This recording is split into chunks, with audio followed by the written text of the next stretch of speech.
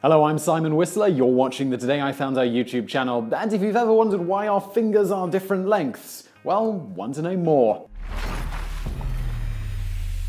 The human hand is remarkably different from that of other primates with shorter fingers. It's got a smaller palm, a significantly stronger thumb, and of course, the most notable feature of our hands is the ability of the thumb to perfectly and comfortably oppose, come into square contact with the tips of each finger of the same hand. While we can't know with 100% certainty all the factors that led to the evolution of our hands, it would seem it all revolves around this perfect opposability and the various advantages that provides in certain scenarios that has dictated the length of each finger. It's not entirely clear when the modern human hand appeared. Prior to a recent discovery, the consensus was about 800,000 years ago.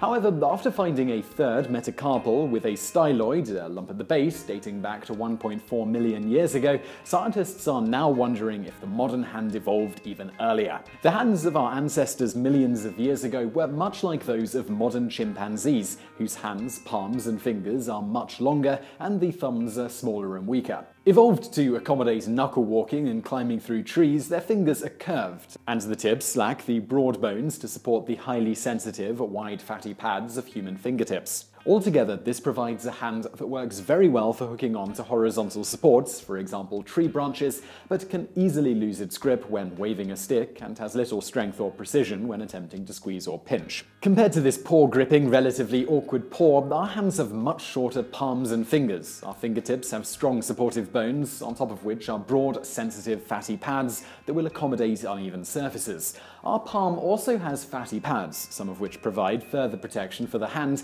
and also aids in gripping. The bases of the thumb, second, and third finger have all been strengthened to withstand greater stress, and in fact, the thumb has three muscles attached to it, which are not seen in chimpanzees the flexor pollicis longus, flexor pollicis brevis, and the first volar interosseous.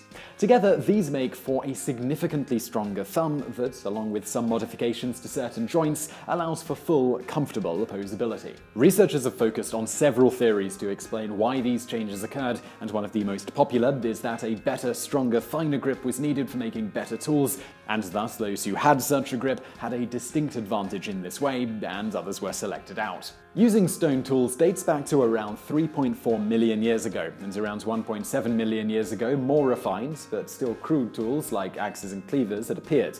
Over the next million or so years, tools became progressively more refined while the hand evolved to its modern state. Since hand strength and dexterity are required to make and use better tools, it is thought that the advantages the latter provide led to the evolution of the former.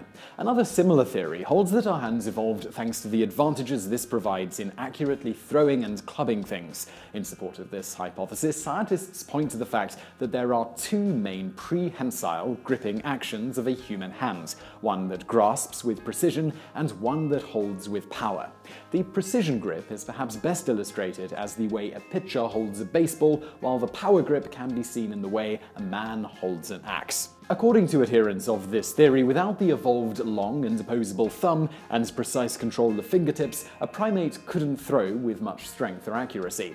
Likewise, without the vice formed by the thumb overlapping the fingers, and its new powerful flexor pollicis longus muscle and the additional fat on the palms, an axe would easily slip from the hands of a primate, as is sometimes seen with chimpanzees wielding sticks. A third, equally violent theory acknowledges both of the first as potentially contributing factors, but notes that neither explains precisely why the hand holds its present relatively stocky shape. Claiming, however, to have the key to the geometry of our hands, adherents of this theory note that the human hand only becomes a truly strong weapon when it is formed into a fist. They also identify several facts in support of this. Number one, chimpanzees cannot form a good fist. Number two, the surface area of a fist delivers a blow with greater force. And three, the way the bones are arranged when one makes a fist imparts even more force on the victim. And it is the precision with which the bones are aligned that researchers feel most bolsters their argument. When clenched in a fist, there is no space inside, and this is because of the precise lengths of the finger bones. In addition, the excellent support provided by the thumb is due to the fact that it is precisely the right length and begins at just the right place on the palm.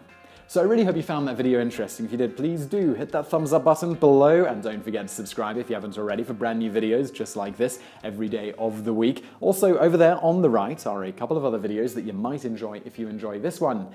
And thank you for watching.